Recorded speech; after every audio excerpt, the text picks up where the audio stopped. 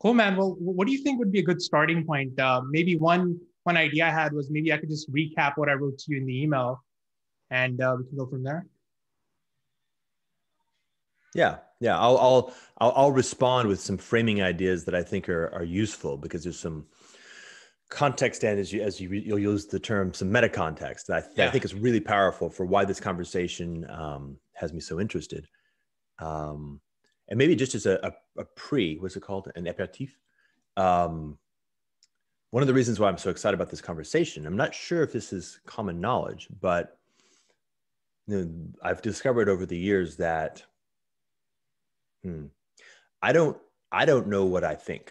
What I mean by that is because my method is so intuitive, right. I can make choices on the basis of a very strong sense of what's happening and kind of kind of unveil the next piece of it if that is necessary to go but i don't i can't articulate it. It's not it doesn't exist in terms of words and concepts and language that is uh, that my linguistic processing mind can say back to me. Right. It's actually only in dialogue with another very earnestly like astute precise person that that stuff can actually come out in a fashion that is uh, what i would say well said and therefore presumably well shared. I'm the so, same way uh, yeah. and that's why i write to you sometimes. I'm not expecting a response. It's more that in the writing i can articulate what needs to be articulated because if i'm just thinking without projecting it out i'm i'm confused. Yeah. Yeah exactly. All right so preamble. Okay.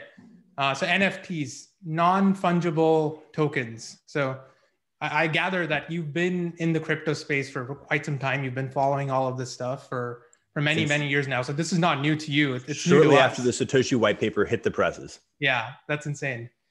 Um, so so you know, I, I read your tweet about NFTs. I, I read your blog post about I think contract models, and it got me interested because you know I've been thinking a lot about the NFT space myself. I I come at it from the lens of a entrepreneur in the creator ecosystem. And what's interesting here is just any any new model that's about empowering creators interests me. Um, so not so much from crypto, but more just how do we make creators more successful, right? And in thinking about the NFT space, particularly after having grappled with some of your ideas around game A, game B, I've been feeling conflicted. So on the one hand, I fully buy into, let's say, the value for the creator as a financial instrument, as something that's creative, as a exchange of, let's say, value, uh, something new, that's something more decentralized and native to the internet ecosystem, right? I, I get all of that. Where I struggle is in two things. One, the definition of value. So, one model I heard recently is think of value as a spectrum the one hand, there's utility. So things like a phone, a laptop, tangible goods, right? Things that actually do something. On the other hand, there's signaling. So you own something not so much for the purposes of the thing itself, but for what it signals to others. Uh-huh. Let's say a luxury car, right? Or an expensive watch. Here's where I struggle with NFTs. I think by design, from everything I'm able to understand about the idea of a non fungible token, they seem to be more geared towards the signaling side of things, as in trying to capture that end of the value spectrum as opposed to the utility side of things. And so, where it kind of um, rings bells in my mind is, is in thinking about, let's say, some of the game B values we've been talking about uh, of you know transcendence, the infinity, the sacred, the commons, uh, one in my mind, I don't know if it's ever been articulated, is just like the value of value itself as opposed to things that are not of value, right? Mm-hmm. And so coming back to NFTs, you know, after reading your blog post, um, I just felt like reaching out to you because you may be one of the only person who can even understand what I'm uh, trying to position here, which is say when we zoom out, let's say when 50 years down the line, 100 years down the line, when we look back at NFTs, will we see it as a net positive or net negative? And within the, the frame of that question is this whole thing about if the tool itself is meant to emphasize more the signaling as opposed to actual value, uh, is that a good thing or not? Okay, great. This is good. Thank you. Um,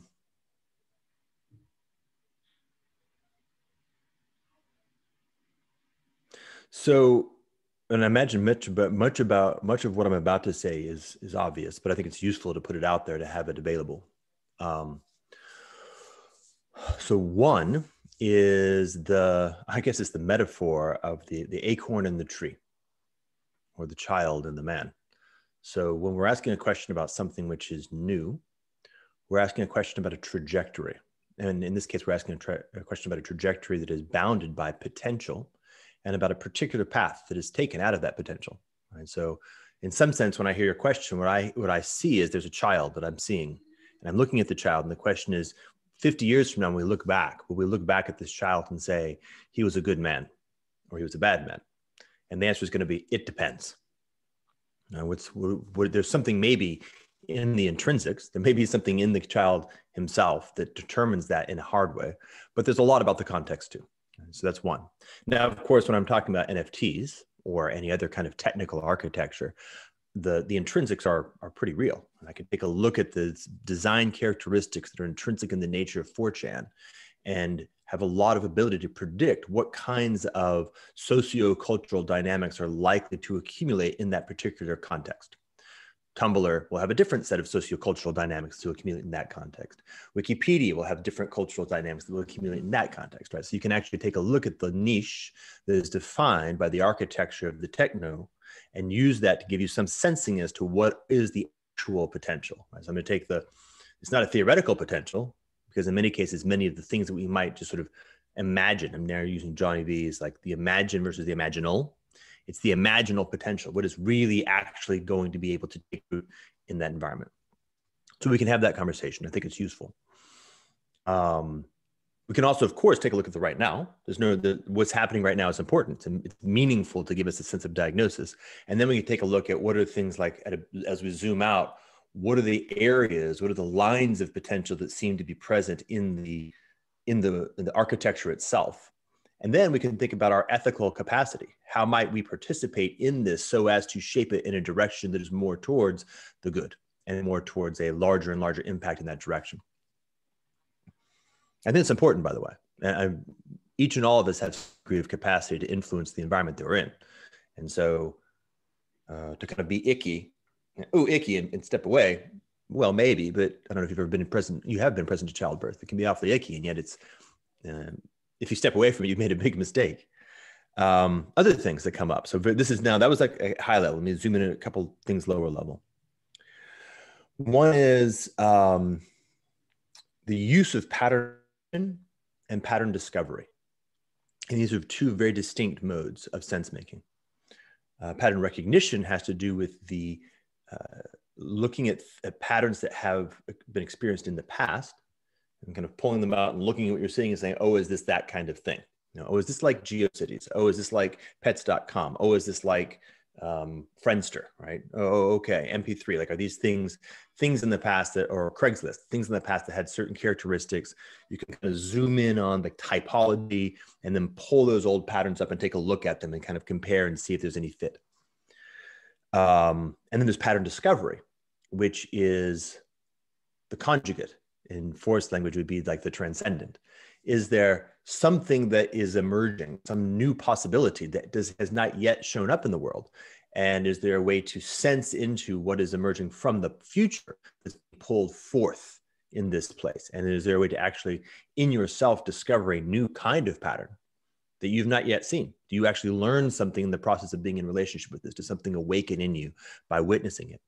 And of course, for the most part, most people and I think even more so in our contemporary cultural contexts, rely on pattern recognition more than pattern discovery.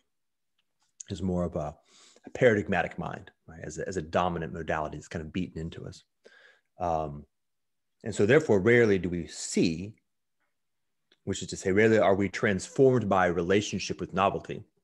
And more often, we uh, see something that is new as, in fact, actually something that is old. And therefore, create wrong relationship with it. Actually, that was pretty high level. I, I meant to be low level, but it ended up crawling up high. No, that makes uh, sense. Uh, next, the next one is uh, apropos, not perfectly new in my mind, but newly presented to me in a beautiful voice. A person who sent me a message like in the past week not about NFTs, but well, about weeds actually, about forestry and, and regenerative agriculture. But the metaphor is general purpose, and, and explicitly so. Um, and I actually remember watching that beautiful documentary, Biggest Little Farm, where if you haven't seen it, it's really cute, great. I really quite liked it. But it the cinematography is fantastic, and the story is quite nice too. Um, but part of the story is they actually talk about they're doing regenerative agriculture, and they walk you through the seven-year arc, where each year is what's called a trophic cascade, um, where the the context of the moment creates a change. Right? So it's a change, it's a, a certain actuality that has an adjacent possible. Yeah. As the as the in this case the farm, the ecosystem migrates into that adjacent possible. And we can remember we've got seasonality. We've got the, the actual seasons of the of the world moving through that adjacent possible. you know, winter, spring. There's a new possibility that emerges in the next adjacent possible. It's almost like this cool dynamic of breathing in and out, where in the winter, um, certain things are no longer available in the adjacent possible because the energy in the system isn't there. So what's in the actuality uh, does what it does in its certain context. And then when the next spring comes, a larger potential energy opens up and these new pathways that weren't there in the previous season are now available. And the system now migrates along those new pathways through a series of trophic cascades. And it migrates in this case from a really despoiled, um, you know, commercial agriculture, dead soil, monocrop, uh, you know, basically dead ecosystem across over seven years into a living, uh, at least in the story, uh, living ecosystem, which is a permaculture modality. And um, so that's that's that. But the point was weeds, uh, and and the notion is weeds come first in that process. Uh, and I would say this weeds come first in, in two senses. They come first in the regenerative sense, right? So when there is a, a context or an environment that has become very despoiled, there is a mode of livingness, a mode of exploration of possibility, which we can identify typologically as weed, that is, the, is the only thing that can thrive in that context. But there's something about the nature of weed that it actually generates trophic cascades that brings the, the niche back into or into a new level of possible fecundity. Okay.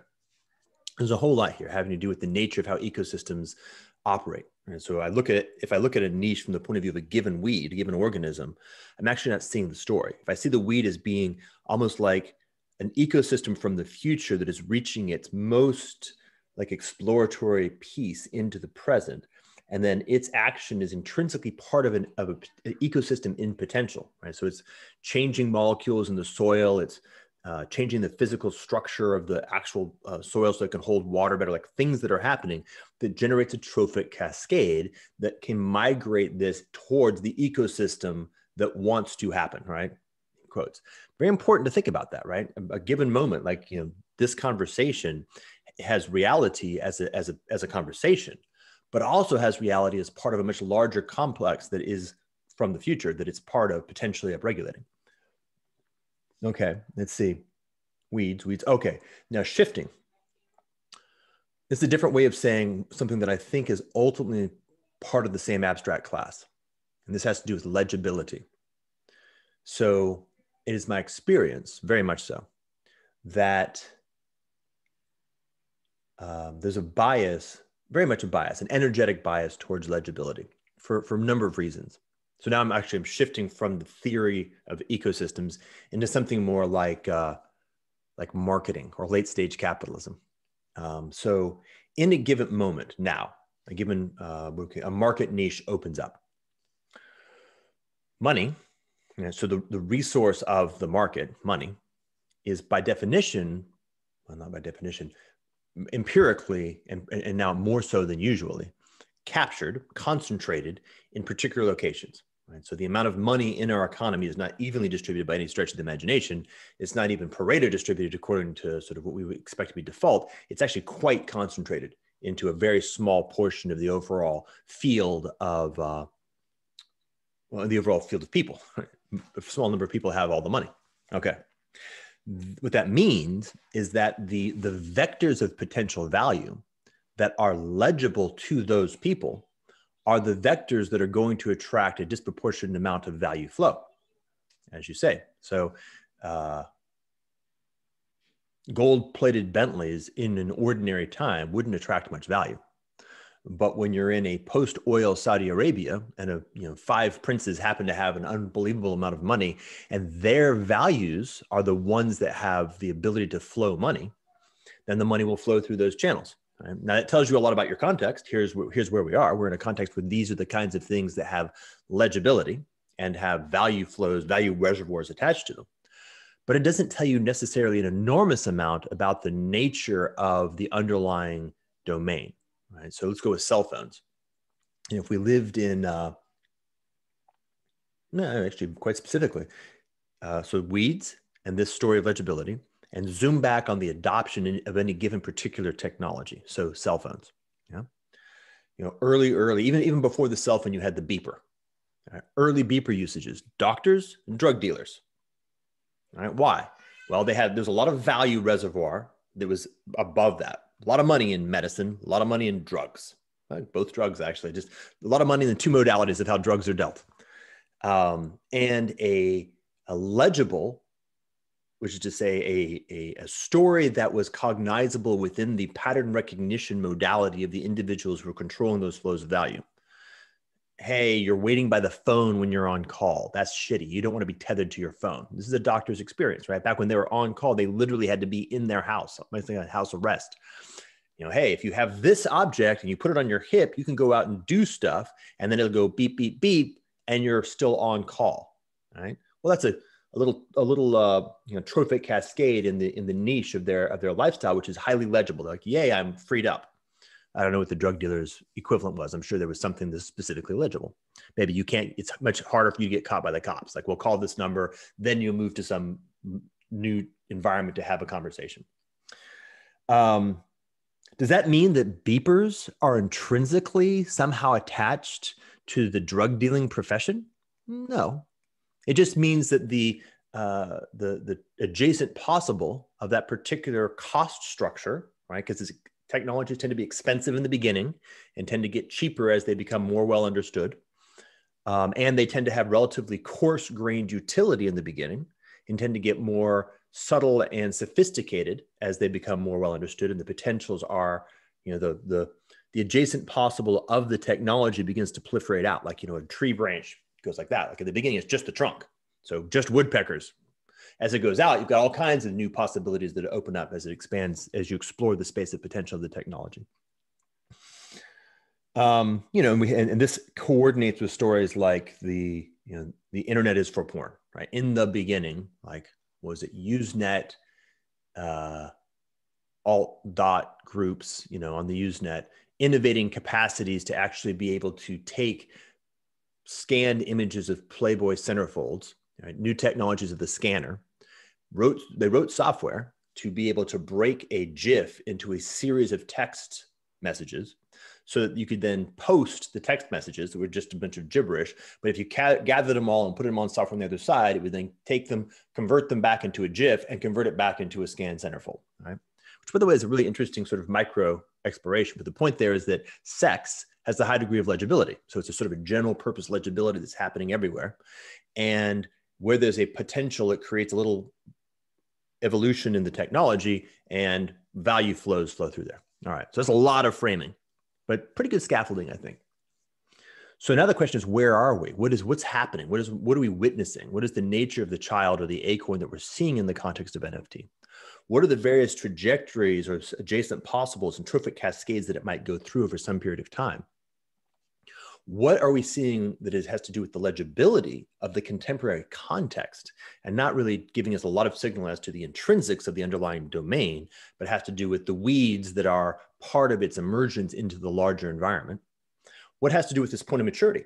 And if we're seeing the trunk, but we aren't seeing the, the branches, can we find a way to sense into where those branches might eventually show up so we get a sense of what we're actually dealing with as opposed to focusing myopically on the on the thing that's directly in front of us and then I guess the last piece, which I haven't brought up, is of course we also have to think about it in terms of its role as context in trophic cascades that could be happening around it, right? Not in NFT, but as NFT shifts something else. So, for example, VR.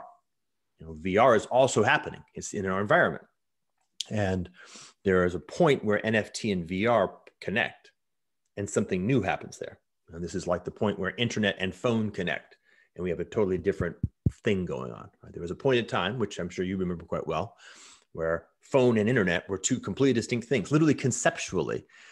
they, they, they had a hard, I remember, remember like commentators having a hard time with the joining of them and they called like mobile internet or, or literally thought of the the presence of the internet on the phone as being distinct from the presence of the internet on a computer like conceptually they just had a hard time realizing that no no that's all the internet we've got different technical ways of interfacing with it which are important but not distinct what comes to mind uh, to me there is the, the steve jobs iphone keynote where he goes it's a phone it's a browser and it's an ipod right and he just keeps repeating that and like that's such a aha moment, but like in hindsight, so fucking obvious.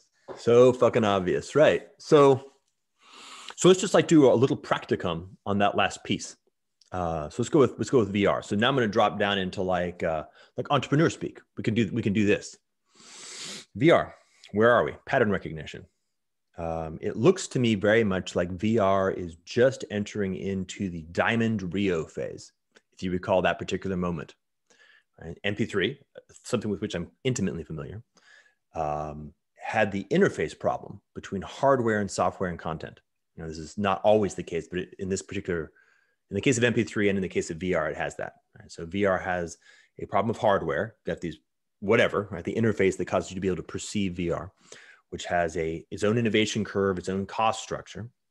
But there has to be software things that actually generate VR experiences and have a capacity for generating quality and flowing across network connections and stuff like that. And then you got content. People have to actually use that software to produce experiences on the hardware.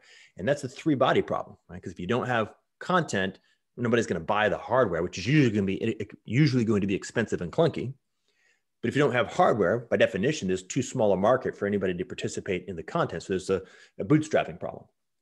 So when you look at that kind of an ecosystem, the MP3 ecosystem had the same situation. You could do a okay experience on the PC as the hardware. Right? The PC often operates as a um, migration path because it's so general purpose. You can get a some portion of the experience on the PC, which generates enough hardware piece of the modality that content can begin to show up, and it creates a bridge so that new, better hardware can use content that was produced for the PC in a better way and then people can migrate to that and then enough energy flows into that that then it becomes the whole ecosystem flops to that which is what happened with the ipod right? So in the mp3 arc and of course you can run this on all kinds of things. The modem is another great example. Um, the diamond rio right? the diamond rio was a quite successful at the moment that it happened in the context of the larger market clearly just a little blip you know bitcoin 1000 i suppose but a point where I was like, yeah, Bitcoin 1000. It was a point where I was like, hmm, that seems like it might actually be real. Still a lot of people on the outside like, no, no, not real. But you know, getting to the point where that crossing the chasm, like you're actually getting up to the chasm. There's a bunch of people looking at it going, no, no, I'm going to build a raft and I'm going to cross the chasm on this thing. It's going to be real. And everybody who does, in some sense, does well. Um, and of course, many people don't cross that chasm. Um, okay.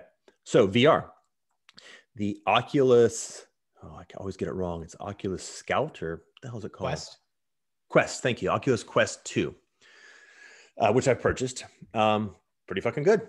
It's nice. You know, fully disconnected from a PC. I just put it in my face. I press the button, it turns on. The controllers are pretty sweet. The UI is nice. Facebook did a horrible thing by completely yoking it to their ecosystem, which is definitely going to kill it. But in terms of the presentation layer of cost, right? The cost structure, I think is like five, 600 bucks, which is right smack dab in the middle of that or that stage of economy adjusted for inflation you know it's not it's like the uh, third generation dvd player before they hit 100 bucks and started going down the downhill slide towards everybody having them and it works well you know it's very easy to use. The experience is high quality. I don't get a lot of headaches. It's not super heavy. Okay neat. That's not yet mass market but definitely right at the process of moving into the late early adopters. Content lots of content uh, but not the greatest content. Like you're still not clearly not there and there's obvious reasons why that would be. Um, but nft hmm, interesting. Things like decentraland and all these various sort of uh, VR crypto crossovers. I don't know if you're familiar with any of these guys. They're called like I think they call it the metaverse. Metaverse, yeah. yeah. So the metaverse is an exploration of the potential of VR crossing over with crypto. Right. So the, one of the primary theses of the metaverse is trying to create a, like like Second Life, creating right. a finite, not like just like Second Life, but now connected to crypto, um, a finite amount of real estate, some sort of notion of a world as a metaphor, and and people actually spend crypto, real crypto that has real, you know, you can not trivially, but fluidly, uh, what we call it, fungibly and with some liquidity translate from I could sell my real estate in Decentraland, convert it into Mana, convert the Mana into ETH, convert the ETH into USD. Could probably do the Mana to USD directly. I don't know, uh, and then buy milk or whatever. Yeah. And inside the context of Decentraland, because there's crypto now there, the idea of a real world economy trying to find out what its use case is inside a VR environment, which turns out to be NFT. And so at least meaningfully. Other stuff too, gambling's happening and they're trying all kinds of experiments inside that ecosystem. So keep that in mind, right? The, the VR revolution is probably three years out in terms of how long hardware life cycles take and how long it takes a ecosystem of people to focus on a potential, particularly post COVID, where so many so much attention got put into this modality of virtual and how do we create relationships and communicate and collaborate and create value that isn't in physical space. So uh, we kind of got pushed over a big hump into a new uh, basin of possibility.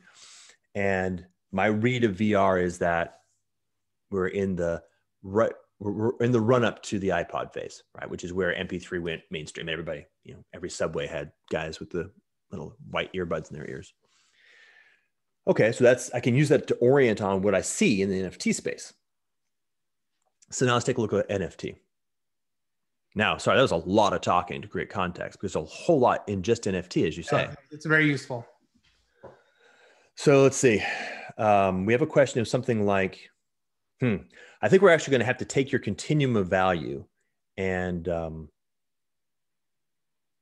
what I, the visual image I have is actually hitting it with a tuning fork or zapping it with a high energy particle to see what kind of what's actually like a higher dimensional structure is actually uh, implicit. Because the question of utility, I think, is a uh, simple. If I take a look at a given utility, you know, and say a hammer, which is a really nice example because tools replace a tool by definition is a replacement for another way of solving a problem that is is, is qualitatively more efficient.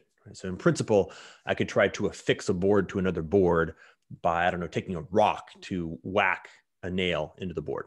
Uh, but a tool, a hammer, is a very, very refined version of rock. So it has a compression on energy. So the utility of a hammer has to do with the fact that it takes the use case that I care about, the value I care about of affixing a board to another board by means of a nail. Um, and it is radically more efficient. So it creates an efficiency compression on a value that I'm looking for, hence the hammer. And so when I buy the hammer, what I'm really buying is the ease the increased ease and precision of doing this thing that I that I seek. But notice the derivative, which is it's only it's strictly a derivative of the value associated with affixing a board to another board by means of a nail, which is itself strictly derivative of whatever the hell I'm trying to build. Right. So these value flows are actually really complex. It's not simple. Like the notion of utility usually has many, many, many differences, like steps that you're going through. And each step has these qualities to it. But as you say, I think this point, like if you do run the abstraction, the point of um, signaling and the utility the utility of signaling is really interesting. So let's take a look at that. Mm, okay. So the first thing that comes up for me is you've got I've, I've i have almost like a historical story. I've got the er like the base case which is very powerful right? We're social mammals and anytime i witness social mammals i see signaling all over the place probably even prior to that. If you read the book by John Holland called Signals and Boundaries, he points out that at the highest level of abstraction, all complex adapted systems are in fact defined by signals and boundaries. Signals in the interior, boundaries, and the signals in the exterior. Um, so signaling may actually be a primordial phenomenon. In fact, I'm, now that I'm thinking about it, probably so. So then what is this question? So maybe it's like almost like signals, boundaries, and then fitness. Like when we're talking about utility, in some sense, we're ultimately talking about fitness. and some some derivative of fitness in any arbitrary landscape. So then when we're talking about signals, we're talking about ecosystem, we're talking about relationship, we're talking about how it is that a given instance, a given phenomenon, a given um, beingness establishes relationality with its larger environment at some kind of qualitative qualitatively different cost. You know, vision is a signal. I no longer have to crawl my ass through the slime over to the object in the distance and then feel it with my pseudopods. I can actually see it and engage in some level of evaluation of its fitness relationship with me maybe it's a predator maybe it's food whatever so the signal itself is a tool. Right? It's a it's a compression on the underlying fitness gradient of the environment that I happen to be in. Maybe it's the primordial tool. Gosh, we're if we go here, we may actually get super super deep pretty fast. I'm not sure if it helps. If it it, it may be too much too deep for the thing that we're looking at, but it's fun. I'm enjoying it. Can I ask a follow up there? So, are you almost saying like signaling itself has value, or uh, it's it's this concept of like perception is reality, and the perception not in your mind but in the in others' minds, right?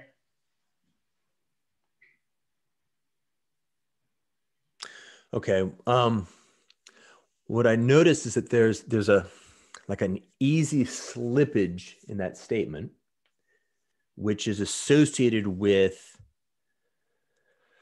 I typically Eastern idealist philosophy, right? And I don't, that's not what I'm saying. It might be true, but it's not what I'm saying. Um,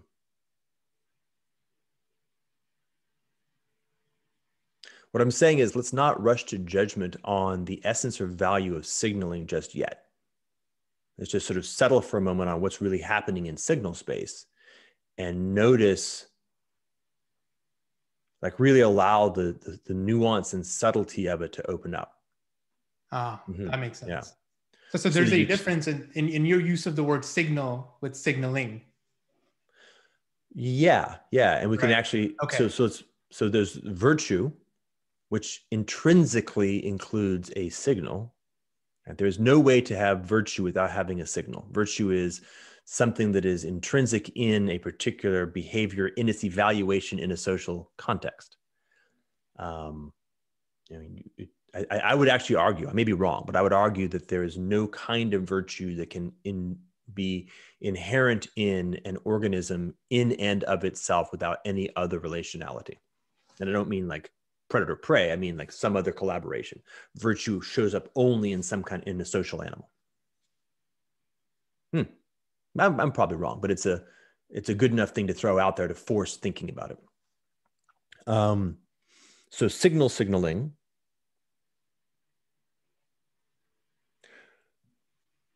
Okay, so what I'm gonna do is I'm gonna, I'm gonna jump. I'm finding myself jumping forward into the future now. So I, I apologize. It's a pretty large shift of context, but I think there's something useful about it that can kind of create a different perspective and then by virtue of that, get a parallax view. So here it's about the we humans are we're on a journey from a hmm, a landscape, a possibility space in our signaling capacity. So we exist as humans. We are the thing that makes us interesting as animals is signaling our ability to modulate a wide variety of potential signals, like a huge proliferation of potential signals with extremely complex densities and styles of modulation, of which language is just one, to generate a whole new level of possibility in terms of coordination, you know, which of course culture is a word to describe that. And the emergence of culture as many people, Greg Heinrichs most notably in my recent experience, identifies as being a what's he call it, a junction point or a qualitative uh, portal pathway into an, a level of evolution that is equivalent to the emergence of, say, behavioral, you know, neurological uh, systems and organisms, has a lot of possibilities, right? Game A and game B all happen within the context of culture space. And we're on a journey where, for the most part, for the last 70,000 years, we've been exploring the subset of culture space that could be tagged as game A. And we're and we're looking for the location in culture space that is being identified as game B. Right? The hypothesis is this location in culture space that we can provisionally tag as game B. It may be a specific location, it may be a series of, of locations in the space that have certain characteristics, but it's distinctly not that territory that is associated with game A. It may, in fact, be a, a higher tone of what we called game indigenous. Right? I'm, I'm still not at all clear on how that works. So we're on a journey. We're looking for that. But it's all that's a subset of signaling. all right. Well, as we've described, so this whole this this question of utility and signaling, hmm, it may turn out that actually signaling is the thing that we need to be focusing on. The utility we're looking for is a particular quality, capacity, competence um, in signaling space that has characteristics that um, support a trophic cascade in culture to a location that we're going to call game B. And notice trophic cascade. Right? This is the, the whole transition B phrasing. Right? It doesn't necessarily show up as game B right now, unless you're really, really um, clairvoyant. But you might be able to notice that it supports a series of movements. Like we might be in the weed phase of that. You know, NFTs might be the weed phase of the trophic cascade in signaling space towards game B, maybe. And as we say, and, and there may be some really interesting bifurcations that are implicit, right? It might take us towards and away from. Hmm. And, and it's an interesting problem to realize that, that each human generation, for example, intrinsically contains some arc in terms of culture. Right? Every human generation has a potential of going more this way or more this way. And you know, the bet, bet is on is about what happens with uh, ours and with Generation Z. This is why the parenting question is so powerful. All right, so what's there? So what do we have? What do we see? Proximity. All right, so now, okay, now let's do a nice diagnosis of what's happening now. What are we seeing now in NFT space?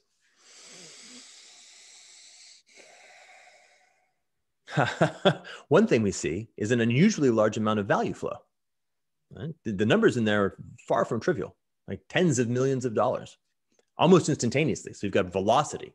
It went from well, that's not true. The notion of a non-fungible token has actually been implicit in in, in crypto, or at least in uh, in blockchain, for a very long time. Like maybe even from the very beginning. So if you look at the curve, it's like pretty much flat. And there's a bunch of ideas that are trying to focus on things like real estate. How do we get real estate on the blockchain? And any given token that is um, bound to a distinct piece of actual physical real estate is a non-fungible token. Okay a car would be a non-fungible token. The broad problem of the relationship between the, the, the analog and the digital blockchain, ver, the, the blockchain version of the digital, that entire space is the NFT space. Right? That, so yeah, that's actually, a great point, by the way. I just want to pause on that. So you're saying that anything, when we think of uh, the potential of cryptography uh, and non-fungible tokens, anything any problem which involves mapping something physical into that land essentially essentially involves non-fungible tokens. By definition yeah. Yeah yeah, yeah. so for example um, i don't you may have seen like the Civim a piece i did on Civim economy. Yeah.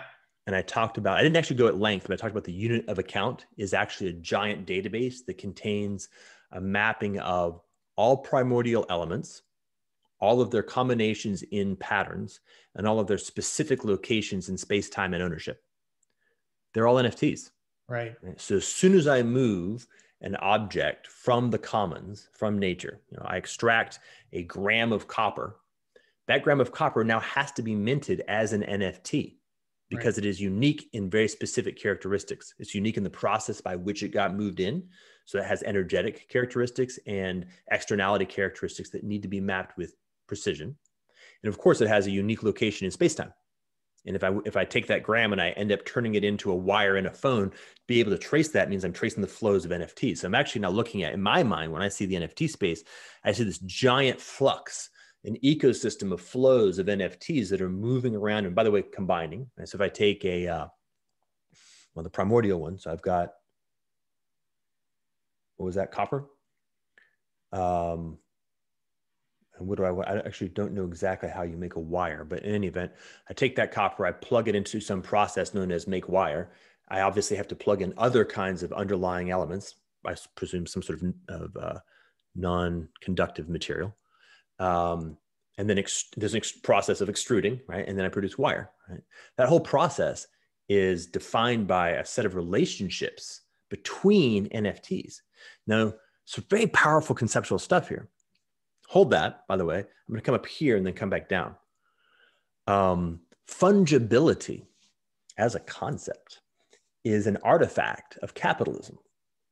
Back in the day, when you bought corn, you bought non fungible corn, which meant that you went to the farmer's market and you actually interact with the actual physical material analog unique specific corn that you were going to purchase and buy. And you evaluated it on the basis of a set of qualities that were the signaling possibility was very high. You were present to the corn and you would oftentimes actually negotiate with the farmer on the basis of your intrinsic values and the you know the farmer's specific location. And so corn might have quite diverse price points. And this particular corn right here 10 cents a pound. This over here, a dollar a pound. Why? Well, because this is, has qualities that are more valuable right now in this moment, whatever it might be. Okay.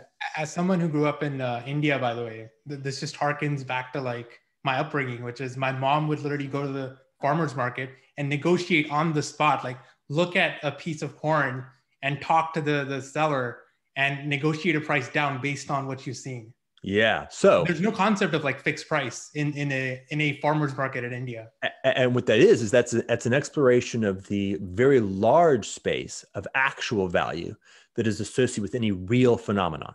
Right. So you can I, I see my visual image now as I see this kernel of corn as an NFT. I'm like in the matrix here where your mom's like picking it up and it's got this glow of all these different vectors coming off of it, all the different potential values that it really represents, right? It could be ground into something, it could be per- turned into art, like this vast space of potential value. And then you see the interface resonance between the current state of ownership, the farmer who has values that the farmer has, your mom has values, and this complex comp- collapse down to what remains creates the possibility of trade right? And of course this is the the thing that the economics at least points to as hopeful is that in that relationship there actually is a sense of a increase in the actual value right? That this has been moved from a place where it has a, a total value of x to a place that has a total value of greater than x. Um, synergy would emerge in that trade if the complex of values is actually well perceived the more the complex of value is perceived across a larger field of, of valuing phenomena, and the more smoothly valuable things can be moved to find the locations of global optimality, the more synergy value is unlocked. I think I just recapitulated Beautiful. microeconomics. Yeah. So it's, it's almost like the value is more legible and there are more values to be comprehended and exchanged. Yep. Okay. Right. Now let's go back to our story.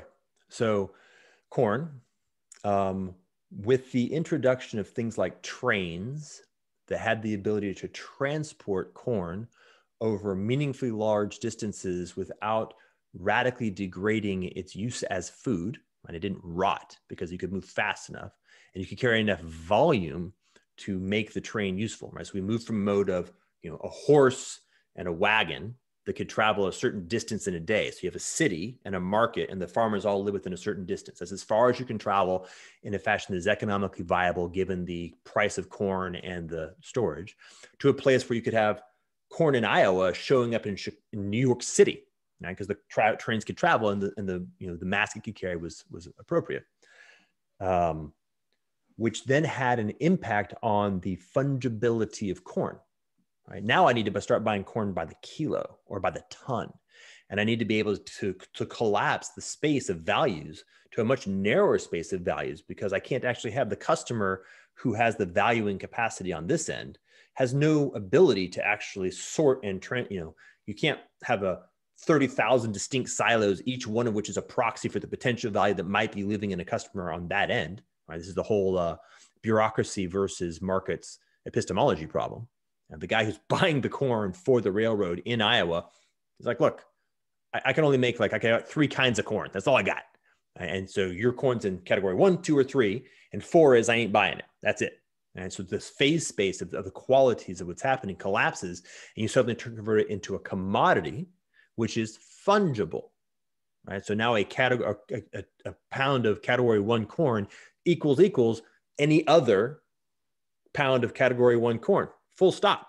Right. And of course, the reality is, is they aren't even vaguely equal. There's no real fungibility there, but they are fungible enough that I can begin to treat them as fungible. So it's really interesting to think like the evolution in blockchain towards NFTs might in fact be a discovery and an unlocking of this deeper form of value, which is the intrinsic non fungibility of anything that matters, which replaces, in principle, right, replaces the fungible landscape of tokens. Right. Now, let me do another couple of moves here. One of the other things that I've always witnessed uh, and I think has actually been reported on quite a bit, is this this this legibility vector in the in the context of new media. So I'm not just doing legibility in the context of new text, specifically media. So content and medium. Um, my hand's going this way because there's a sidewaysness of it. Um, so say for example, early television. Broadly speaking, early television was something that already existed, like a Broadway play, with a camera pointed at it. So they took something that already existed and they added the new medium and said, that's now TV. Yeah. It's, it's, it's an exaptation of an existing form of content with very little change. And they just shut, slot it over. And it's, it's sort of the minimum viable content that, that can actually work on TV at all. And then, though, it begins to explore, it's enough to activate the TV niche and begins to explore what can happen in TV. And then, of course, once you do that, you're like, oh, I can have multiple cameras. I don't have just one camera. I can have two. Well, then that means I have to be able to edit. I have to choose. There's only one screen, but there's two cameras. I have to now start choosing, have an editor who's choosing which which angle actually has effect on the way that I'm telling the story. Oh, I don't actually even, once I've got an editor, I, I, actually notice that I don't have to actually tell the story according to the linearity by which it was recorded. Non-linearity of time is a, you don't have that in a Broadway play you could tell you could frame the scenes in a Broadway play, but clearly the watching of it is happening in this fashion. But as I start getting into TV, the ability to cut and paste time and space, and you know, obviously my camera can jump all over. It's all kinds of new possibilities open up. But the immediate first origin is legible, which is to say, eh, it's, it's it's a Broadway play with a camera pointed at it, and I'm taking advantage of the fact that you can watch it far away. And that's that's the thing that I can articulate that is legible to people. It's like I don't have to go to Broadway anymore. I can be sitting in my living room in Iowa and I can watch a Broadway play. How cool is that? Um, okay. So NFT space and anything by, by hypothesis tends to have a similar characteristic. So, so there's something going on, which is like people are exploring, well, well, what can I do? Well, you can buy art. People buy art. Art's a thing. I get it. I want to own something that is art and there's a value to it. Um, and I can do that in the digital space. It's an example of something that is very, so it's an exaptation of a simple relationship. And so what's nice about that simple relationship is, as it turns out, you can imagine like this, this evolutionary uh, search algorithm on the bottom of NFT space. It's like, is it cars? Is it real estate? You know, what's the thing that we can find? Like, oh man, these are hard. You can't get real estate. It's like bound up with these legal constructs and like getting all these different participants who don't give a fuck to make a move and you know, loans like complex navigating through that. And each one is like, ah, and finally some guys like, what was it? Uh, ETH kitties or something like that. Ooh, collectible digital objects. A little, a little, you know, value accrued to it. And what's interesting about it is it's uh, uh, it's not clear to me how much of that value is described on this this uh, continuum, and how much of that value has actually got a vertical dimension. The vertical dimension is like an intuitive sense that the object in front of you represents a potential that is going to be meaningful. So I'm actually, when I'm buying the first, whatever kit was, I can't remember what they're called anymore. Do you remember something kitties? CryptoPunks? Crypto Kitties. Crypto Kitties predates Crypto, Punks, but Crypto Punks. Let's go Crypto Kitties though. Right. Or let's run the clock back. Like when I bought my first Bitcoin, and so I mined and bought Bitcoin. I wanted to experiment with both. Um, obviously, at the moment that I did so, I was not engaging in a value that was present at the moment that I did so. I had no real, I had no utility for it. It wasn't, I wasn't going to buy pizza with Bitcoin.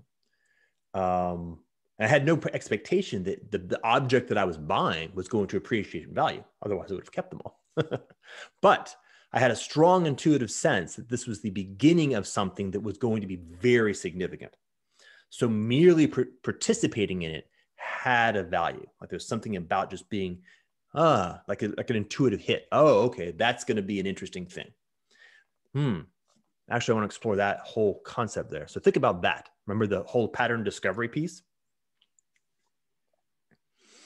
Mm-hmm. Yeah. So now I'm going to get, I'm, I'm, moving forward a little bit. So zooming in, I've got uh, Crypto Kitties, Punks, then the next wave of, of art, somebody begins to see, hmm, there's something here. There's explorations of, of, of, of, minor variations on the theme.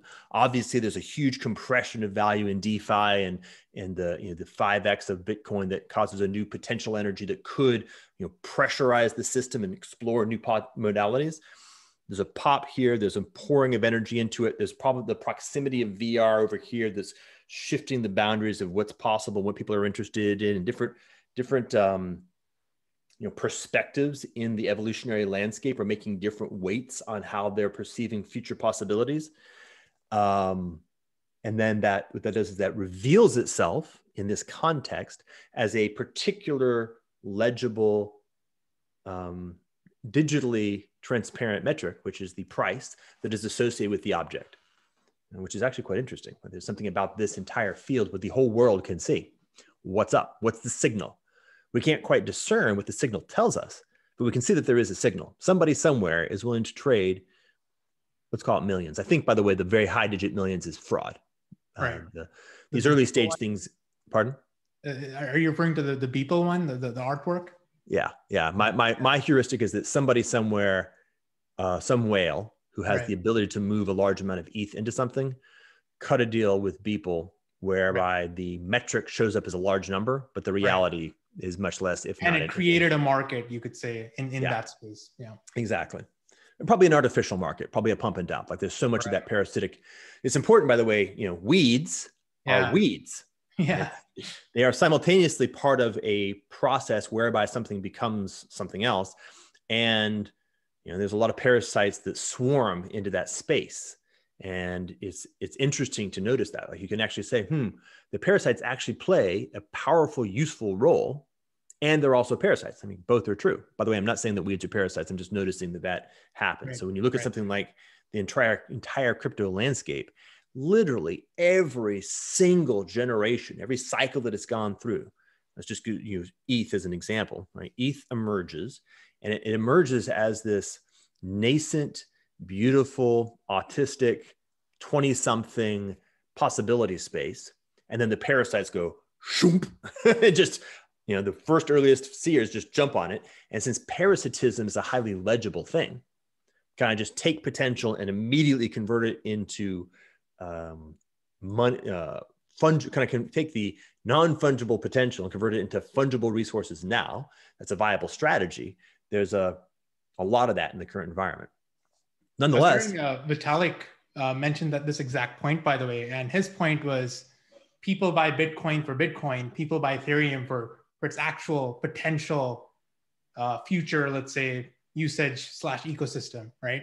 And one of his points was um, those parasites are actually important in that they one make it legible, two they they give it like a U.S. dollar amount yep. that others outside the ecosystem can pay attention to, uh, and then eventually when you start attracting, let's say, uh, players into the system, you may get more parasites but at the same time, you're actually getting more Vitaliks into the system as well. Yeah, exactly. Exactly. And so with NFT, the same thing. Like I, the amount of content that is coming off the uh, the bench, you know, all over the place, you know, this flow of orientation. You just see this big bright light, right? Much of that is money grab, but money grab is a coarse grained, soon, early version. You know, it's again, it's kind of like a weed. It's oh, there's potential value there. Let me grab some of it. Well, in the act of me grabbing some of it, I'm also producing value. I'm doing some kind of work. I'm exploring the underlying technology of how NFTs are minted. It's going to get easier and faster, smoother, maybe less already less energy cost, like less gas cost.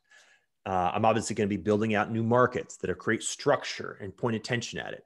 I'm going to have a whole bunch of people who otherwise would have been totally uninterested for pure FOMO greed, which aren't exactly the same, but are very related, pour into this new space and begin pouring their attention over it. when the bubble pops, most of them will leave. Some of them will leave with the wrong lessons, but 20% will stick around. Those 20% now become part of the new ecosystem, right? We've moved now from the weeds to the next stage, and they'll begin working on just searching the potential of what this thing can actually do right? And just the next iteration, right? Then there'll be some new capacity, some new infrastructure that will actually be built, some new level. Maybe the VR crossover happens and you start seeing NFTs showing up in the metaverse, right? You see the Oculus 3 or I don't know, Apple launches a VR headset that is like 200 bucks and totally unlocked. That wouldn't be Apple, but any event. Um, and a million people flow into VR and all the guys who are sitting in the, you know, the NFT space are like, oh, I have lots of wares to sell that are have utility in VR. Um, by the way, they could have actually all kinds of different VR. The question of utility and signaling becomes really interesting to, to see what that's all about. So, okay, so let's go back to the intrinsics though of, of, of NFT. All right, so let's let's. I want to use the example of a Van Gogh painting.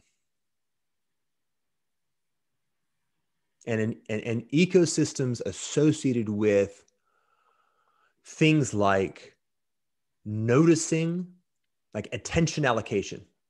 I want to focus on, on attention allocation as a very deep characteristic of one of the things that we're looking for. Like if I think about in terms of, in terms of this, the journey in our signaling systems, curation is a fundamental that we do a terrible job at.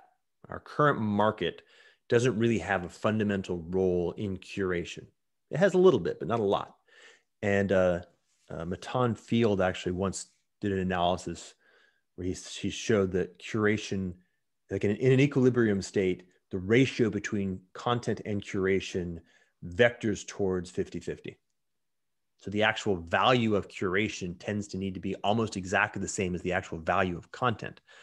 Um, because if you get an asymmetry, if there's too much content, for the curation, the ability to find the content becomes the problem, and you get these terrible matches. But if you actually, if they're in symmetry, there's a uh, you get an equilibrium state in terms of the value distribution, and by the way, the focus on what value to create. It's like a micro, another microeconomic theory. Okay, so Van Gogh painting. I don't know. Let's say it sells for $100 million. And then I have actually a mural, which is a kind of a flat screen painting kind of simulators hanging on my wall. And I have a copy of, of, of Van Gogh's um, Starry Night on my mural. Very high res, high def, from a distance of like eight to 10 feet, pretty indistinguishable. Like you can kind of look at it and say, oh, that's not really a painting, but it looks pretty close. Uh, so we'll call it 98% the same. Um, and it cost me zero dollars for that picture. I just downloaded it off the internet. So I got a zero zero dollar cost of uh, well, if I want to do it, the embodied energy of my download off the internet was probably on the order of like eight to 10 cents. And of course, the mural has a depletion cost in terms of how long it operates before it disintegrates or becomes non functional. But that's a lot less than 100 million. So I'm going to step up. Now, what I'm going to do is I'm going to hire a painter of some level of skill to create an actual oil painting using real oil paints and a real canvas that looks a lot like Starry Night. And for 2,500 bucks, I can get a pretty competent painter to make a pretty good knockoff of Starry Night. So now I'm going to move to like 99% from 98 to 99, maybe 99.8%. It cost me 2,500 bucks. Now I'm going to get a really good painter, pay him like 50 grand. That's a lot, right? This guy can make a version of Starry Night that to almost anybody's eye is identical right? Really take a look at each stroke and the thickness of the paint and the quality of the paint and has skillfulness in being able to simulate it. And so only a, a, true expert would be able to discern the difference. And to my eye, no difference. $100 million on one hand, $50,000 on the other hand. From the utility of the sensory, the sensual experience, identical. So now I have the question what's going on? What's that gradient? Right? And you're going to say, well, that gradient is signaling. I am showing one, I got 100 million bucks that I could just fucking throw away. I'm rich as fuck, peacocking like crazy, or even threatening behavior. Right? I'm, I'm, sure a lot of that money is actually like bad guys who have who are actually saying, "Don't mess with me. I can throw money at that. I can definitely throw money at fighting you." Um, that's one thing for sure. Right? What this speaks to is the the it creates legibility into the actual location of le- sorry it creates visibility into the legibility flows of value reservoirs in our economy. we, when things like a Van Gogh explode in price, that's a precursor to telling me, oh, the Gini coefficient is getting out of hand. I got money that is sitting in places where uh, far too much of it is sitting in concentrated locations that is being pointed in this direction. That's one signal. That's the thing I'm getting. It's, I'm getting meta signal about my underlying economy. So the fact that somebody might be willing and able to throw $10 million at a Beeple NFT maybe tells me that the crypto economy also has a very uh, highly concentrated wealth distribution or that it's dominated by fraud. Hard to know right now. But there's more to it, right? A Van Gogh is worth $100 million, but a first edition Jordan Hall is not worth $100 million. There's something, why does it have that signaling imp- implication? And why does the, the original, you know, the original have that characteristic? Why, why does provenance matter? And, and I think we've seen some statistical analysis in NFT space that if I can actually show that the artist's wallet is the one that minted the NFT, as opposed to being minted by a, uh, a wallet that is not obviously the, the artist's, that the value differential is, is, is real. Like I'm willing to pay more for one that is more provably coming from the actual artist. Provenance is a very interesting notion, right? And think about what's the implication if I go back to like the primordial, like the deep, what's why is this signal a signal at all? Like it, it, even maybe even even though it may be a sort of hypertrophied beyond all of all rightness, there's something about that. Like why do we care? Why do we value proximity to Van Gogh, right? to the one that Van Gogh's hand actually touched? And I would say this ties very closely to curation. It ties very closely to the degree to which um, I think we, when we had this talk, did I ever talk about the difference prestige and um, the hell was it? Well, I guess I'll just have to recapitulate it because I've forgotten. There's a really good book called The Secrets of Our Success. It's probably about five years old now, maybe a little longer, but it's a great synthesis of cultural anthropology and biology, biology, uh, evolutionary anthropology, and talks about why is it that humans became humans? Like, what's up? How did this happen? If you take a look at lots of different comparisons, chimps, for example, are better at uh, behavioral economics games than we are. They actually do a better job of getting the right answer than we do. Um, the, the thing that we do vastly better is theory of mind and emulation. So if I point at a cup, you know that I'm pointing at the cup. You can actually empathize with me and, and see that where my attention is pointed and you have a very high like early early almost instantaneously are scanning your social field for what kinds of behaviors to learn from. Learning learning gradients.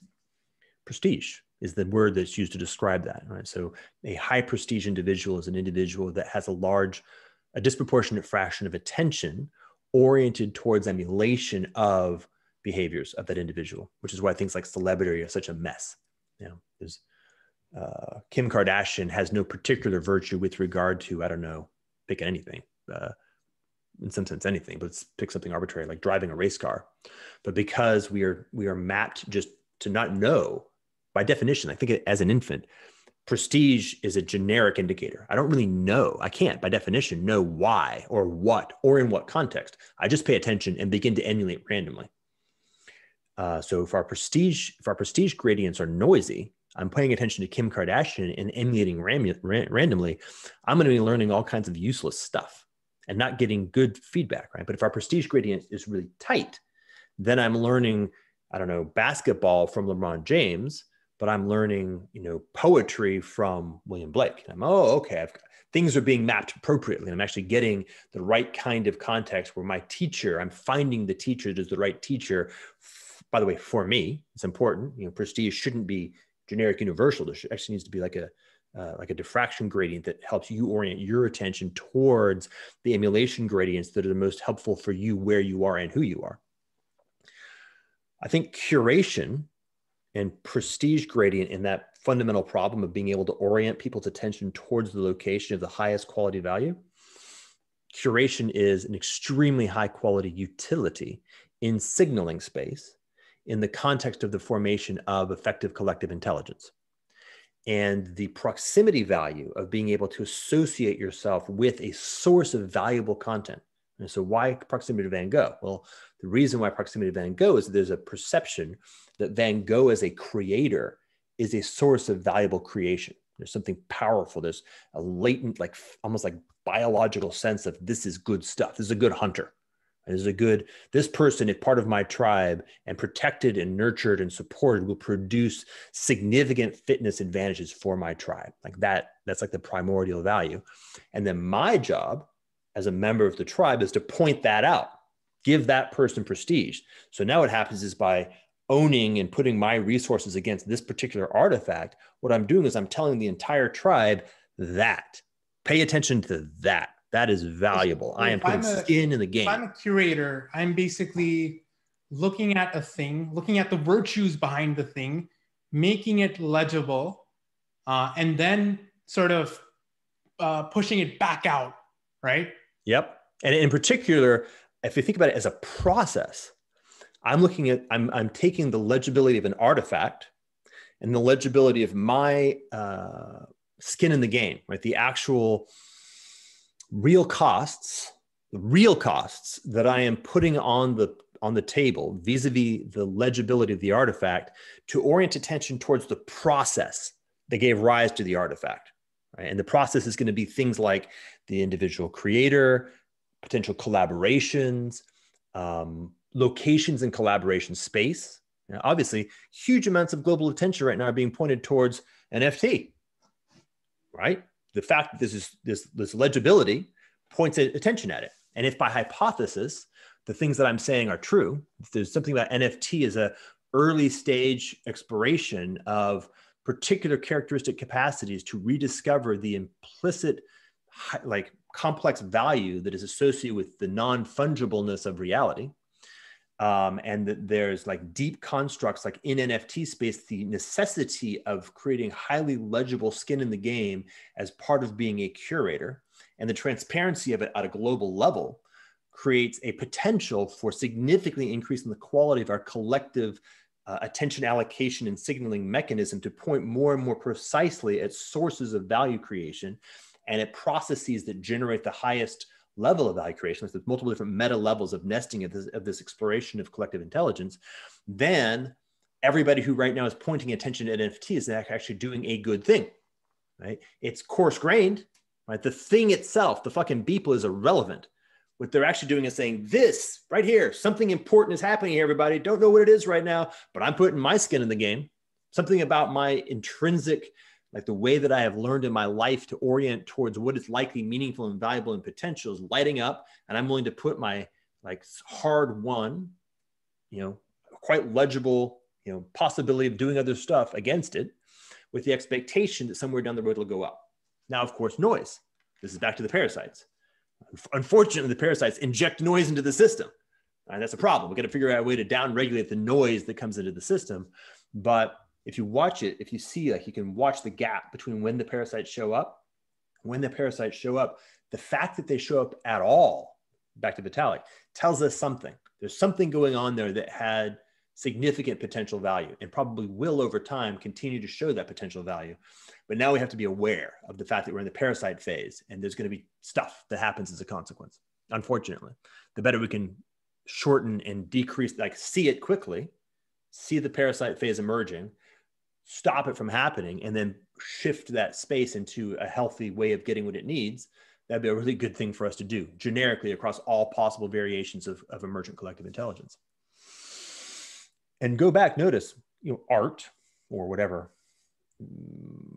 visual, now audio, also to some extent 3D objects in the digital domain is a legible immediate stage exemplar of the larger potential energy latent in NFT space. uh, as we begin to move through this, as energy is pointed at the domain, infrastructure is going to be built, is already being built. Content will be pouring in. Creators are already right now in large amounts looking at different ways, right? Oh, the, the wave of just throwing my shit up on, on SuperRare and making $10,000 or $100,000 kind of over. Now I've actually got to be more creative. I got to find a niche. I got to find some new thing that'll actually explore this possibility space and find where the value gradients are. Now, some of those creators are actually focusing on real creativity, real novelty, real good, you know, uh, pattern discovery of what does that emergent pattern field look like. Some are just better parasites, looking for better ways to parasite the value stream, right? Unfortunately, both are happening. Um, so you, and, but there's going to be things unlocked. Pattern recognition thing. It's like the television medium is evolving from uh, the the rebroadcast of Broadway plays to something that leads to more originality that's intrinsic to it its characteristics as as a medium. Yep. Yeah. Exactly. Um, and then you know, in this case, the advertisers show up and they're, hey, how can we parasite that? Parasitize that and explode right. with the other piece of it. Um, and by hypothesis, by the way, who knows? Now, who knows what happens next? If you look at, like, say, the uh, uh, the internet, we had this huge wave of a similar bubble. I happened in 90s, you know, the mid, late 90s, and this big explosion, pets.com and ice.com and Yahoo, early Amazon, GeoCities. Um, and by the way, we got things like Amazon, which as it turns out was pretty good call. Like it did, we may not like the consequences, but wow, that was a real, real shift, wasn't it? Um, and some new things that we didn't know yet slid out from the outside. And we didn't know that something like Facebook was in the latent adjacent possible that wasn't available in generation one, but was going to become available in generation two. We had to get everybody on the internet first. We had to get them spending enough time and get comfortable and have a seeking desire to begin creating durable identities and communicate with each other through this medium as a primary mode. But once you got there, once that trophic cascade had happened, the novelty in the ecosystem gave rise to the possibility of what's now called social media. You know, take YouTube, right, which I know intimately. The internet had to be capable of doing video at all before you could do YouTube, right? Had to have enough people powered with capacities to create and source video, right? Before inexpensive cameras existed. You couldn't put video on the internet. Like all that stuff had to happen. Once the infrastructure was in place, we'd engage in a trophic cascade to a new potential to unlock this new thing, right? Same thing in NFT space. What is happening now may not tell us a whole lot about what the next innovation wave looks like as the infrastructure flows in and changes the shape of the landscape. And you get these sort of little feelers going out looking for locations of unlocking a new reservoir of potential over there. It could be something completely new. But one of the things that we have discovered is precisely this notion of the potential value that's associated with signaling and beginning to look at okay, is there something about that that we can think about? And I'm going to move maybe to the ethical side.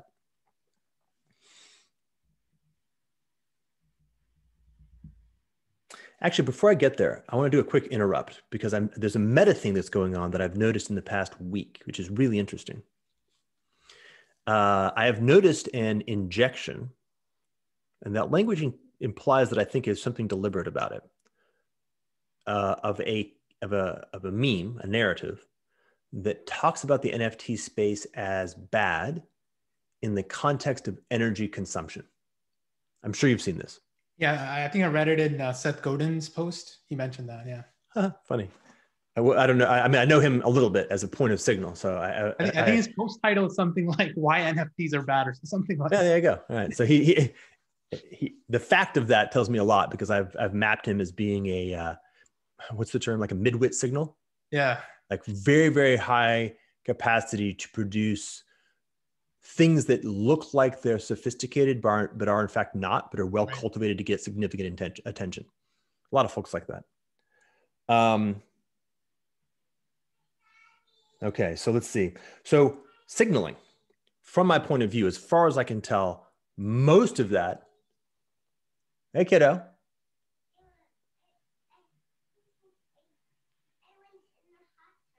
Oh, you went in the hot tub. Nice. Did you take? Did you rinse off afterwards? Good. That means that I won't be going in the hot tub with you, and maybe I'm being told also that our time is coming to an end, which is unfortunate because it's pretty cool. I got 10 more minutes. I was hoping to be enlightened, by the way, and you have not disappointed. well, that's nice. Um, all right. So, from what I can tell, most of what we're seeing in that narrative is like unalloyed virtue signaling. which is, hey, we've sort of we've spent our virtue signaling in a bunch of different locations, and here's a new one, and we're looking for how do we signal that we're on the right side of history? How, how do we signal we're on team right side of history? And now that that's, that's been identified, if you don't signal that you're on team right side of history, by definition, you're on team wrong side of history, and we're creating a new, you know, in-group, out-group dynamic. And that's as far as I can tell, like that's 98% of what's going on in that particular environment. Um, what I would do is I would sort of double, single click and double click on the inquiry. Single click has to do with a slightly more robust analysis of the actual cost structure. So if you take a look at uh, any two objects that are roughly parallel. So I've got my uh, Van Gogh $2,500 oil painting, and I've got my Van Gogh NFT. And I look at the embodied energy, and I have to actually do accurate accounting. I have to take a look at the entire supply chain, all the way from the bottom up, to look at what's manifesting here. But I can't um, take a look at 1% of this and 100% of this. Otherwise, I'm not doing a, a ceteris paribus. But if I look at the whole supply chain, so what does it take to produce the canvas? What does it take to transport the canvas to a location where it can be acquired by an artist? What does it take to produce all of the oil paints and the brushes? You know, all the underlying characteristics I have to take that entire multi multi-variable supply chain, concentrate them into the moment of the artist creating the actual painting, including quite likely a uh, frame, which is a non-trivial economic artifact itself. And then just for the moment, let's just look at the embodied energy uh, of that and the externalities associated with the mode of production of that embodied energy because they're not fungible. Right? The, the production of oil paints is not the same as the production of electrons. These are, these are, they throw different externalities. And if you compare the two, yeah, the net net cost of a canvas instantiation of a painting is on the order of 15 to 20 dollars maybe more depending on a lot of particularities it ranges a lot and the embodied energy cost of a nft is on the order of two dollars so 10x cheaper in terms of the actual embodied energy of the footprint now that, that's a great point so, so you're basically saying the if you look at nfts as trying to capture the signature of the artist right? Versus the art itself. Yeah, yeah. thing that can prove that the artist did, like made this thing, sold it to whoever they sold it to, and by the way, the signature is the NFT. The the cost of proving the signature in the NFT is just a whole lot cheaper than the production of, let's say, physical good. In, in your example, the Van Gogh artwork. Well, that's that's the you're actually one one dot five. So let's let's do one real quick and then go to two because sure. there's a lot more to two. So in one, I'm just literally talking about, in this case, the digital art, which happens to be maybe even superfluously wrapped in the crypto structure, but it has as a, uh, a core benefit that I can prove provenance. And say that's the setter, that's the comparison with the, so I'm buying the art. In principle, I have a lot less use value because I can't hang it on my wall, although of course I could, but let's just for the moment ignore that. Um, so I'm just looking at the analog painting against the digital painting and the NFT wrapper and the signature. And that's that's that. There's ceteris paribus and the embodied energy of producing those two. Okay. If I double click, I have to actually look at the context. The context includes all of the socio-cultural artifacts that are associated with this particular object. So when I look at the analog art, I've already talked about things like, okay, I have to, if I buy it, I have to transport it. There's a physicality associated with the movement of it from the place of buying it to the place that I keep it. I also have to store it. There's something about the object, the storage that takes up space.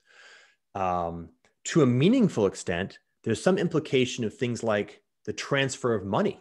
If I'm buying it in US dollars, I'm actually invoking by implication a payment processing system and a banking system that's associated with the economic structure that I'm participating in. I'm, I'm engaging in analog economics, which implies late stage capitalism, implies fiat currency, implies nation states that police the laws associated with and enforce those laws using military power. I'm also invoking copyright. Right? For the most part, uh, particularly when the price point is anything above strictly labor of the art that I'm purchasing, the gradient of that is entirely associated with the legal regime. If I want to be able to buy uh, not even my Van Gogh, I'm buying something for like $15,000 and the underlying effort to create it was call it $2,000 of time and labor, that gradient is associated with the legal regime of copyright. The legal regime of copyright invokes the entire judicial and enforcement apparatus associated with copyright that maintains the integrity of that and the cost structure of it. So I have to start taking these, the, uh, the aliquot portion of those entire sociocultural infrastructures and the externalities that they throw into the environment if I want to do a ceteris paribus. Because in the NFT space, all of that is tied up in the embodied energy of the Ethereum blockchain. And so it's not just providing me with the instantiation of the digital object, it's not just providing me with the crypto signature of the provenance, it's also providing me with the entire payment infrastructure, the entire transportation infrastructure, and the entire whatever legal infrastructure that I'm going to be dealing with. I don't even need copyright anymore. The whole point of the crypto is it's replacing that.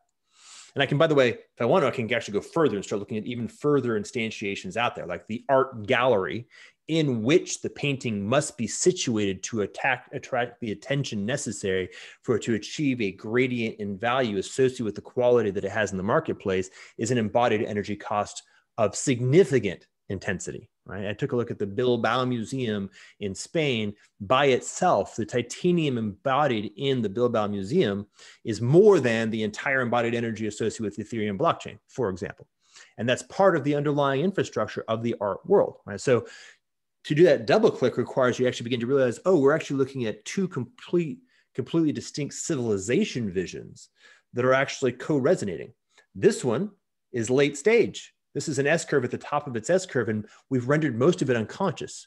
We tend to not perceive its artifacts as being implicated in the whole. This one is almost entirely conscious.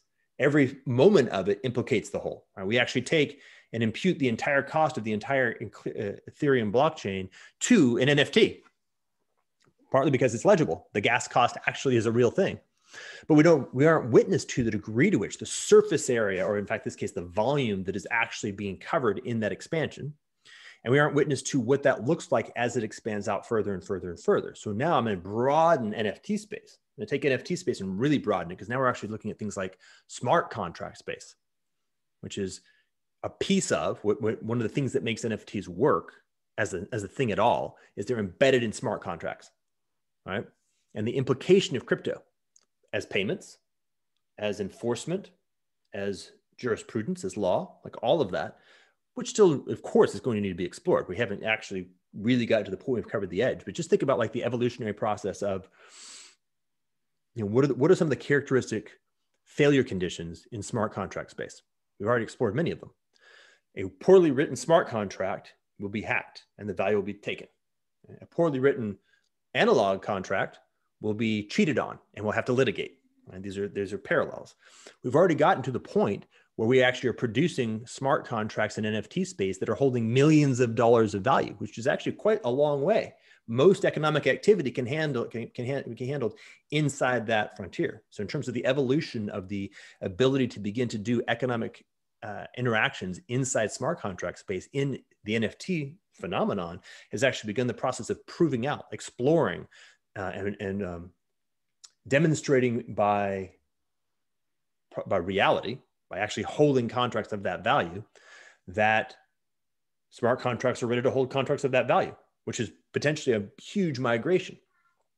So I don't need to have uh, you know, necessarily like police forces, for example, uh, at least to, to a meaningful extent. A large chunks of those begin to go away. I don't need to have banking infrastructure. So that's important. Like we're actually looking at something. Now, so I'm going to hold that, just say, okay, first order, we're talking about NFT space, what's happening in NFTs is part of a much larger story. And a big part of that much larger story is the migration of the entire socio-technical infrastructure for governing and running civilization from this one to some new possibility that has very different characteristics. And you have to take the whole accounting of that if you really want to look at it. So you say, oh my God, crypto costs as much electricity as Argentina. Fair enough. And that's a lot. And by the way, there's S curves in terms of how efficient we can make it and possible phase transitions in the underlying technology that can and will be explored as that becomes a meaningful thing to be explored by that collective intelligence. But if it turns out that at the end of the day, in the migration to a blockchain mediated civilization infrastructure, the electricity cost of running that infrastructure is, say, the electricity cost of Canada, but it replaces the nation state, the military industrial complex, the, the entire legal and banking infrastructure. That's a good trade. It's a really good trade, right? The externalities of that can be much more tightly monitored, right? Hydroelectric energy the is not the same I have thing in my gas. mind is like I'm stacking the infrastructure, and on the one hand, I'm seeing like the stack is like that high, and on the other hand, I'm seeing like the stack is this high. It's just a lot simpler very simple. But in this case, the stack is more legible, which is what would make like a Seth Godin write that blog post. In that case, it's very much not legible. Right. It's been rendered illegible by the fact that it's the water in which we right. have been born. And it's very complex to track it all out. Right. So it's almost like there, there's like hidden middlemen in that in that other stack kind of cashing in. Like like Seth Godin that. himself, for example. yeah. Right. Who is who's hijacking our attention allocation function, which is a big piece of the hidden costs in this stack. Yeah. Is our attention allocation function is is is has been radically exploited. This is our sense making problem. Right? We can't actually orient our attention to the right things and get very clear signal of what's really happening that gives us the best uh, context to make the most effective choices. Now, uh, let me invoke. Oh, let me just we mention the meta versus the trans, and then invoke our friend uh, Nassim Taleb. So meta versus trans, you, you point that out in your in your email that this feels more like a meta move than a trans move, and I think you're probably right. Right, and I've got language for that in my own vocabulary, which is transition B versus game B. Right? As far as I can tell, this entire crypto infrastructure is actually part of the transition move, not part of the steady state at the end. Um, but maybe a necessary part of the transition move. Right? So you, adolescence may not be pleasant, but you don't get from kid to adult unless you go through it. At least it's legible, is what is what comes to my mind, right? It's At very, very legible. It's transparent, legible. Right. You can see it. There's no hidden moves associated with it. It's highly trustworthy. Right. Right. It's it's designed to be very difficult to corrupt in right. terms of middlemen, how much corruption is currently hidden in the unconscious blind spots of the civilization, which we've operated at multiple different levels, like many, many different levels. Right. Probably a third of our entire civilization right now, maybe even as much as three quarters, maybe more. Like if you think about that measure of how much of our jobs are bullshit jobs, and like 80 or 90% of people self report that their jobs are bullshit jobs, maybe 95% of our entire civilization structure is just corruption. Well, if you move from a system which where corruption has lots of places to hide to a system where it's fully transparent and has a full accounting built in intrinsically and legibly and uncorruptibly, perhaps you're able to actually go from a 95% corruption to a 3% corruption. And the, the energetic cost structure of that may, in fact, be so tremendous. That's the thing that saves the day. Just that, just that gap. In fact, I would propose probably so. And in that place, the, sh- the uh, opening up of the possibility of collective intelligence now that we're not burdened by a 95% corruption tax is what has the possibility then of exploring the real concrete problems that we actually are facing right now what tyson calls the thousand year uh, regeneration or maybe he doesn't use those words but that's you know he points in that direction to actually navigate that. So for us to get from here to there we've got to make this move once we've made this move, we're now sitting in a place that has the kind of underlying intrinsics that we can then consciously say, okay, now we're going to make the move to the next place. And it may, in fact, be a, a, continuous orientation. Game B may always be a point receding in the distance that we use as a, a star to steer by, but we never actually get there. But each step we take is a stronger, more uh, like healthier, or more enduring, uh, more thriving, uh, more fulfilling step, for example, quite could very well be. Um, hmm. Thematically, that would be the right place to end. yeah, I mean, uh, I'm gonna have to watch all of this again. I think to really digest a lot of what you've said, but a, a few things have hit home. I think legibility being the big thing that I just was not accounting for or giving it the amount of weight that I think it deserves. Um, the idea that non fungibility may be more intrinsic to human nature than fungibility. Uh, so I think that's big. And the idea that NFTs may be one thing, but there are other things going on, like VR, where once the two meet, there, there's there's potential there that we're not even we can't even grasp really right yeah we can think about zuckerberg sort of iterating away on his uh, on his display uh, technology but we we really can't grasp the importance of something needing to exist at a certain point that will need to be the value denominator in that VR land. Yeah. So I think so, yeah. So let me finish on this then, because as you say that this is this I think is the key. This goes back to that beginning of there's a child playing in the sandbox.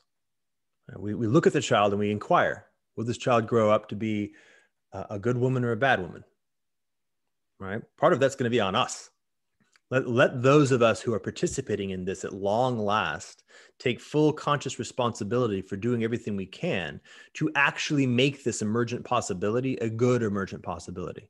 Let's not have Mark Zuckerberg be the one who designs Facebook. It could have been otherwise. It didn't have to be the way that it was. Um, you know, Steve Jobs, Bill Gates, in the PC revolution, there's cha- choices they could have made, particularly right. if there had been a critical mass. And this is one of the challenges. Moloch controls precisely to the degree to which individuals are making choices on the basis of being individuals, not aware of the possibility of, of becoming part of a larger whole. Right. It's almost like let's not get distracted by the the shiny object itself. It's fun, it's cool, it's amazing. Let's think beyond. At the very least, let's have these conversations where we're trying to think beyond and trying to shape it in the yeah. right directions. Can we can we steward this thing? Right my, my perception of what went on with let's say facebook or even with the iphone steve jobs is i just don't think there was any thinking involved in the second order third of third order sort of realm right it was all right. about just this technology is cool or in facebook's case let's connect the world like that's it yeah there's nothing there's nothing beyond that and i would say maybe i don't know about i don't know about this but i feel like it's it's probably a good hmm, how do i say this? Uh, there's a to a meaningful extent facebook is an externalization of the interior of zuckerberg. Right. Right? To the degree to which you're thinking about something one thing but even more so to the degree to which you literally are something that essence right. expresses itself out into the world. Right. Uh, so part of this would be something like if you are participating in producing the future world one of the ethical requirements on you is to become a person where your thumbprint is a thumbprint that you are proud of decades hence. Yeah. Or that your grandchildren, more importantly, your grandchildren are proud of decades right. hence. And I don't mean to single out Zuckerberg, but you know, I've heard him talk about VR for hours. And what I notice is he's so focused on like the technical, like the display technology. And I don't know if you saw, but they're working on like a neural wristwatch that's going to be able to track your arm movements and all of that stuff. Right. And so as he looks ahead, he's looking at like the blockers, uh, fair, like I guess that's fair. If you're the technical engineering person, side, yeah, right, yeah. But there's just way too much power in his hand for that to be enough, right? Yeah. There needs to be this coevolution of just implications, second order effects, just going beyond what's what's visible and legible. Well, to put it in very clean words, we need to start having more wisdom. Right. Not just intelligence. We've got lots of right. intelligence, and our intelligence has done an incredible job of expanding this the, the sphere of what we can do way beyond our wisdom's capacity to make sure we do a good job with those choices. Right. And as I speak to entrepreneurs, you know, that are my age, I feel like that may be coming about in that I find myself having more of these kinds of conversations. Whereas a few years ago, my sense of interacting with other technology people was was purely mm. just like, mm. hey, this is awesome. Like this is cool. Check this out. Here's a link. But now it's more like, what are the implications you know that's a question that i think has popped up in the broader cultural space which which makes me hopeful yeah yeah we could talk about that too because there's some uh, i've been working on a response to meditations on moloch um, if i had time i'd probably be done with it because it's reasonably clear but it needs to be articulated well uh, because this is the challenge and if you play the technology entrepreneur game and you're by yourself thinking about the second and third order implications then that just makes you a loser where somebody else who just focuses on winning right now is right. the winner. Uh, we need right. to find a way to actually generate a, uh, an approach where those who are thinking about second and third order implications support each other and the collaboration has enough comp- capacity that it's actually strictly larger than the uh, choice making possibility of those who are not collaborating on in, in that context. Right. Basically, a, a trade union of innovators versus like let's let's have discussions, right? Yeah. The, latter just is, does not seem fun at all, but is, is what's necessary. Yeah. All right, man. Thank you. I look forward to. Uh, I really appreciate this uh, chat. Yeah, me too. Bye.